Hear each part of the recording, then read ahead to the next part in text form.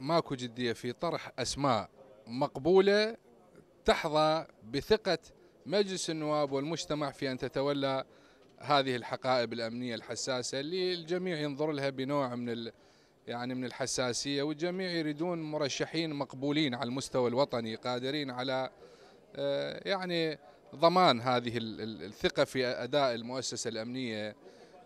لو كانت أكو جدية ما تأخرنا يعني لو طرحت أسماء قوية ومقبولة وإلها استقلالية حقيقية كان حظيت بموافقة البرلمان.